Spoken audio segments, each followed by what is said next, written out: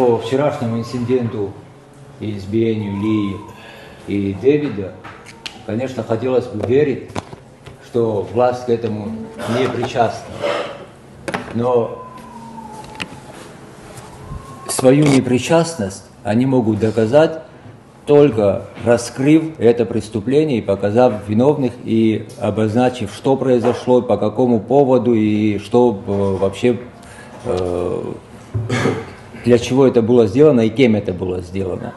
Э, что-то мне подсказывает, что власть, конечно же, не найдет виновных в этом случае. Поэтому я считаю, буду краток, считаю, что это не показание, не для того, чтобы показать силу.